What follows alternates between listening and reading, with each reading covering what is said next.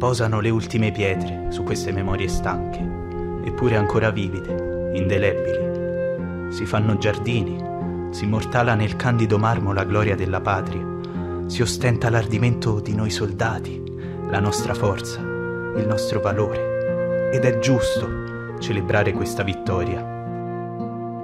Si bandisce talora la paura, si dimenticano le notti di veglia e preghiera. Ci si figura il soldato come macchina infaticabile, incapace di piangere, di sognare il focolare, la moglie nel letto.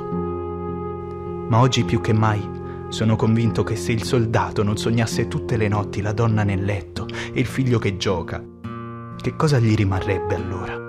Quale spinta gli darebbe la forza di caricare il fucile ogni giorno? La patria che tanto ci freggiamo di onorare sono paesi, quartieri, famiglie, uomini. de confetto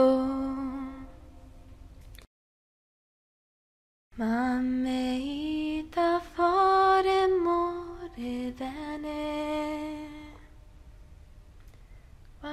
I soldati non sono che figli di madri e quante madri trafigge la guerra.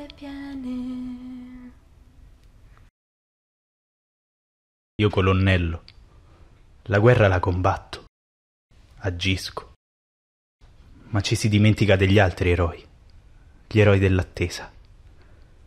Mi sono detto, io stesso dedicherò loro un monumento.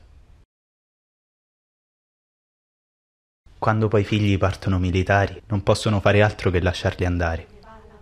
E la loro attesa diventa logorante, come logorante è la vita di trincea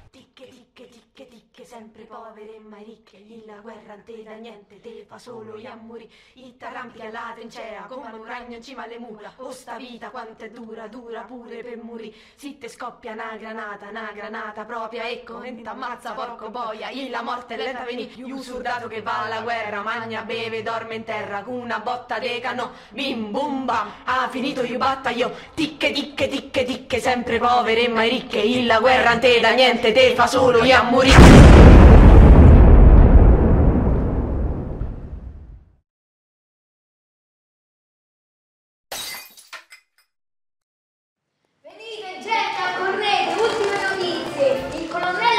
Capasso, eroe della prima guerra e onore e vanto della città e della nostra Italia, è stato nominato podestario ad anni.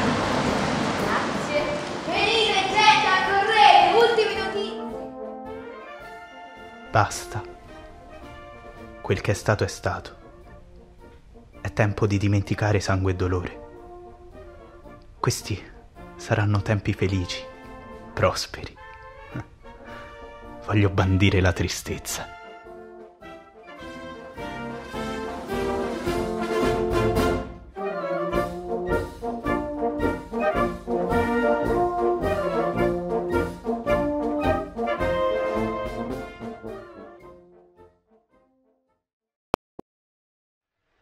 La dichiarazione di guerra è già stata consegnata agli ambasciatori.